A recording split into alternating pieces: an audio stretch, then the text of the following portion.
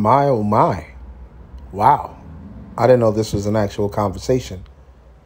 Someone created this. I don't know if it was just to create conversation or to spark debate. But they said, let's be honest. Joel Embiid would lock up Shaquille O'Neal, prime Shaquille O'Neal. So when I think of prime Shaquille O'Neal, I'm thinking of Orlando Magic, LA Lakers Shaq, right?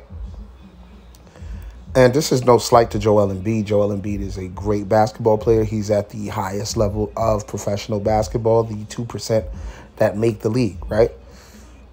but if we're being honest, and you're talking to someone that seen Shaquille O'Neal's entire career, you know, from the day he got drafted by the Orlando Magic from LSU to when he retired, right?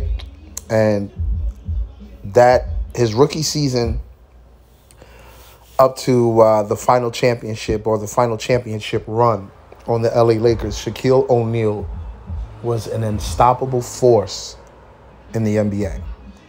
Okay? In particular, at the five spot. And there was no one, even decorated defensive players of the year, couldn't stop this man.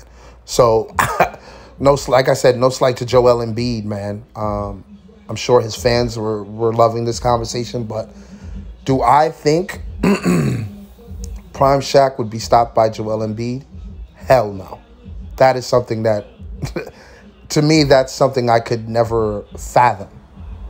Will there be, if it was a seven game series, and will there be games Shaq doesn't score a tremendous amount of points? Yeah, in the seven game series. But will Joel Embiid stop, contain, hold down prime Shaquille O'Neal? No, I don't know anyone in in Shaq's heyday, in Shaq's prime, that were defensive stoppers like the Alonzo Mournings, like the Dikembe Mutombos, like the Hakeem Olajuwons. Those guys were defensive dogs, and they couldn't stop Shaq. So, like I said, no slight to Joel Embiid, but I'm gonna have to go with Shaq on um, taking. Uh, taking Joel Embiid to school. You know, making Joel Embiid barbecue chicken. That's that's just my take. I'm DSP. This is Hoop Haven. Thanks for tapping in.